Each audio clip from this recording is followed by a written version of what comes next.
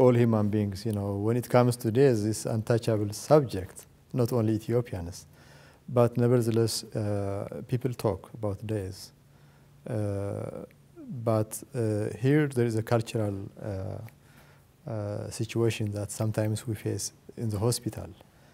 Uh, for example, doctors come and say you have only one month left, you know, just the person directly. That doesn't happen back home. You know, Ethiopians, uh, they are very close uh, in terms of relationship. Uh, family, friends are very important.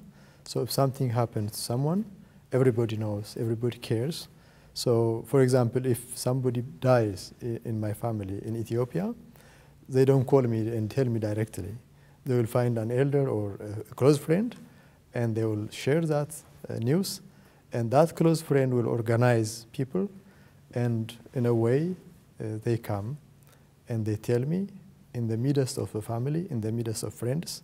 So, though it's heartbroken or though though it's a loss, uh, seeing the friends around me will uh, help me to cope up with. So that has to be translated also here in our relationship in the medical world, you know, with the physicians in the hospital and the health caregivers, they have to understand the cultural value. So as a minister, I have faced so many situations. Uh, people have been told, like I remember one doctor, uh, he is a very professional person, but suddenly when he went for just normal examination, the doctors told him, you know, uh, the liver is gone. You have only one month to live. So I could not comfort, uh, you know, this person because he's already broken. And I heard that, you know, Shakespeare, one of the writers in history, uh, is credited to say that fear of death is worse than death itself. So that says a lot. So the, the way the, uh, I'm not saying doctors should, should uh, you know, lie or should uh, say it in any other way. They have to say frankly, but in a very loving way. The Bible says, speak the truth in love.